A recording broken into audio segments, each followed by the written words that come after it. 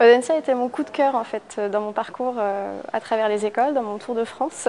C'était l'école qui m'avait le plus marqué, l'école qui, euh, ressemblait le plus à ma personnalité. Et par rapport au parcours, aux différentes possibilités qu'offrait l'école, c'était vraiment euh, l'école dans laquelle je me suis sentie le mieux. Alors moi j'ai eu un parcours classique à Audencia, j'ai commencé par un an et demi de cursus commun à l'école.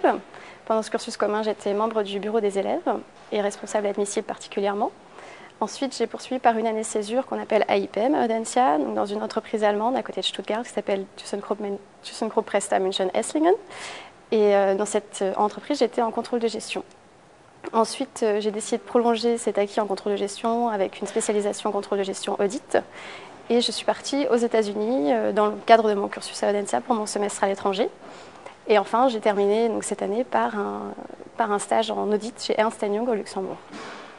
Alors Audencia m'a permis de comprendre ce que je voulais faire dans la vie, ça m'a donné des perspectives d'avenir et c'est vrai que je suis rentrée à l'école sans savoir exactement vers quelle filière je voulais me tourner, ce que je voulais faire plus tard et euh, grâce aux cours, grâce aux stages et aux différentes activités que j'ai pu faire dans le cadre de l'école, ça m'a vraiment euh, donné une voie vers laquelle aller et euh, c'est pour ça que j'ai choisi l'audit et c'est grâce à mes cours à Audencia.